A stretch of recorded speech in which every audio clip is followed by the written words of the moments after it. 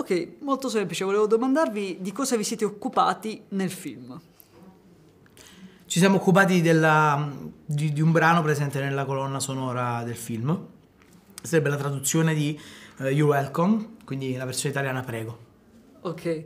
Uh, avete modificato qualcosa a, a, livello musicale come arrangiamenti rispetto all'originale? L'arrangiamento è lo stesso, abbiamo solo diciamo, tradotto il testo sì. eh, in versione italiana, quindi adattando le parole, eccetera, eccetera. Però la versione è fedele all'originale. Quindi anche la sezione rap che a un certo punto si... La versione rap ho cercato di tenere i contenuti della, de, di quella americana, quindi il linguaggio, i messaggi, però giustamente il rap non puoi, non, non puoi imitare la metrica già fatta, no? È come per, a un calciatore chiedere fammi i palleggi uguali a come li fa un altro calciatore, è impossibile, però noi ci abbiamo messo tutto l'impegno per cercare di riuscire a fare una cosa dignitosa, seria. Ma a vostro parere siete riusciti a essere simili al, a come era impostata la canzone in originale? Io più che altro cercavo di, ho cercato quando ho tradotto il testo non di fare una cosa simile, ma di fare una cosa che allo stesso tempo rendesse l'effetto di, di quello che è stato fatto in passato, cioè che è stato fatto in precedenza con, con la versione americana, quindi un qualcosa che emozionasse e grazie a Sergione anche, diciamo che siamo riusciti. Però diciamo anche Rocco, non, lo, non, penso che lo vuol dire per aver fatto veramente un capolavoro perché è stato difficile, non, non perché il diciamo the translation, però il motivo del canzone, la parte rappato e e tutto quello, quindi era un capolavoro dei suoi, peri, diciamo. Eh, ci siamo riusciti di fare una bella cosa, eh, canzone carina e forte, quindi beh, non, non, vedo l'ora che voi lo senti nel pezzo.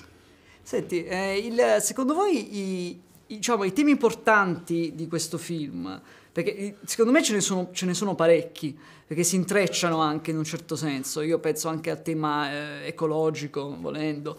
Però c'è anche qualcosa di più. Secondo voi che, che cosa c'è? Beh, in questo film, diciamo, io penso è più la, la forza di questa bambina, la forza di, di trovare la, la diciamo, uh, salvation per la sua, le, sue, le sue famiglie, le sue città, le, le, la sua gente, anche per se stesso. Eh, trovare una, una, cosa di... non lo so come spiegarti, cioè trovare una cosa che lei ha, però ognuno di noi abbiamo paura di buttarti, buttarti proprio nel, nel mare, nell'ondo, cioè quello. Lanciarsi. Sicuramente. No, vabbè, la cosa, diciamo folgorante di questo film è che comunque le, la, la, sorte del villaggio la prende in mano, cioè le sorti del villaggio le, le prende in mano insomma una bambina. E quindi questa bambina si adopera per cercare di trovare un futuro migliore, ma non solo quando, quando l'oceano la sceglie per per uh, risolvere questa situazione, ma già prima, insomma, già da piccola nel villaggio uh, lei sistemava le capanne dove insomma gocciolava l'acqua, no, per dire.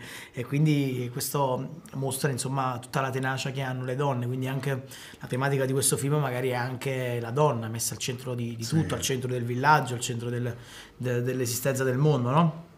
Lo si vede già dalla nonna che comunque è una persona molto carismatica, molto sì. influente e, e, quindi questa nonna riesce a dare alla nipote i giusti insegnamenti aff- affinché lei possa insomma svolgere questa missione all'interno dell'oceano.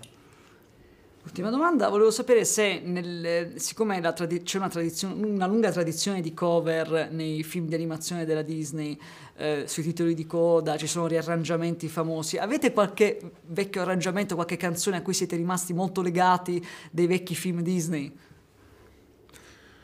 Ma io che, che ricordi l'arrangiamento di, di, Aladdin, Il mondo è mio, di Gigi D'Alessio, no? Quello lì ricordo eh, perché comunque è un cantante molto vicino alla mia, alla mia, terra. E quindi ricordo quello che diciamo ebbe una vita propria quel pezzo a prescindere dal, dal brano. Credo che il segreto di, di, un remake se vogliamo chiamarlo così è anche il riuscire ad avere una vita propria lontana dal, dal, film. Quando il pezzo diventa una hit te lo passa alla radio a prescindere dalla, dalla promozione del film significa che uno ha fatto, ha fatto centro Beh, anche io penso un po' di la musica di, cioè, diciamo la verità, tutta la musica di Disney è sempre stato un capolavoro, però diciamo per me in inglese Lion King, The Circle of Life, e quindi c'è Circle of Life, c'è una cosa che ancora mi ricordo, che la posso cantare ogni giorno anche quando sono alla doccia, quello, cioè quella la, la magica di Disney che tutte le musiche, tutte le cose che loro fanno rimangono sempre in, eh, in testa, sì.